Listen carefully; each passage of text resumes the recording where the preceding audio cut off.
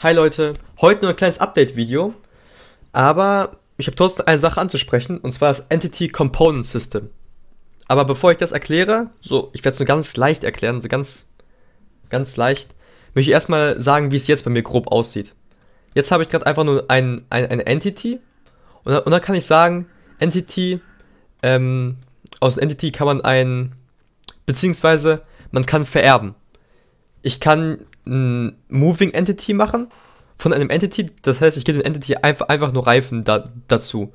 Oder ich kann aus dem Entity ein Living Entity zum, zum Beispiel machen, dann bekommt er einen Lebensbalken dazu. Man kann immer nur eine Vererbung machen.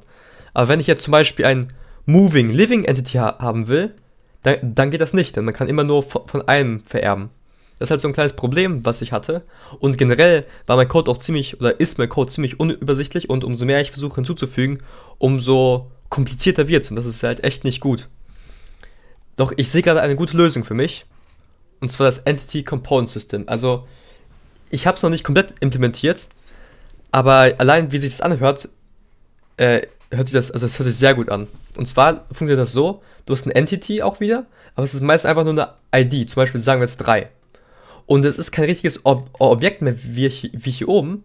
Eher, es ist einfach so, du fügst da Komponenten einfach hinzu. Es, es, es gibt verschiedene Komponenten. Das ist zum Beispiel die ähm, Moving Entity Komponente. Hier ist die Komponente, dass du Leben hast. Vielleicht kann man das noch so ein, einfärben. So.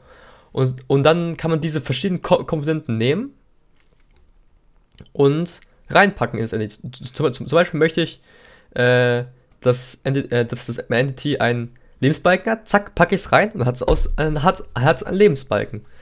Ich will, dass das Entity ähm, moving, also dass es sich bewegen kann, dann packe ich das, die Komponente rein. Das heißt, ich kann einfach Komponenten hinzufügen und entfernen, beliebig, wie, wie ich möchte.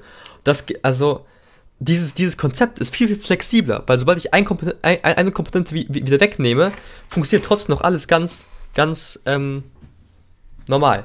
Also das heißt, das System heißt Entity Component System. Deswegen hier das Entity, die ID, hier die Komponenten und dann gibt es halt noch Systeme.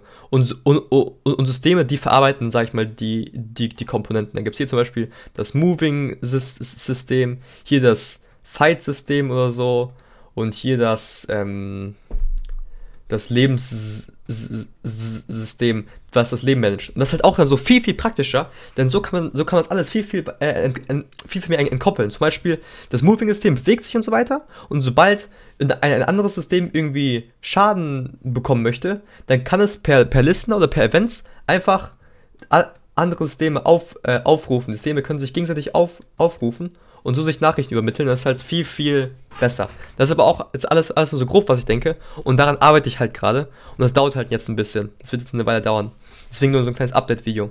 Aber für was ich dieses kurze Video nutzen kann, ist für den Namen. Denn mein Spiel heißt ja Space Explorer, aber ich überlege es Space Explore zu nennen. Aber ich möchte meine Community fragen, was besser, also ich, was sich besser anhört. Oben rechts seht ihr jetzt hier oben so ein i auf, auf, aufploppen. Klickt doch drauf und da könnt ihr abstimmen. Aber sonst war es das erstmal. Ich werde überlegen, ob ich dann, währenddessen ich mein Spiel weiter programmiere, vielleicht noch andere Videos machen kann. So gen generelle Videos, vielleicht irgendwelche Tutorials oder so. Falls ihr den habt, könnt ihr es mir auch mal in die, in die Kommentare schreiben. Ja, aber sonst wünsche ich euch einen schönen Tag. Und am 1.1.2020 möchte ich, möchte ich eine erste kleine Version re releasen von meinem Spiel, wo ihr antesten könnt. Aber da wird nicht nur das Spiel so ein bisschen kommen, sondern ich möchte auch ein kleines Video dann dazu noch releasen, ganz spannendes. Okay, Leute, ciao.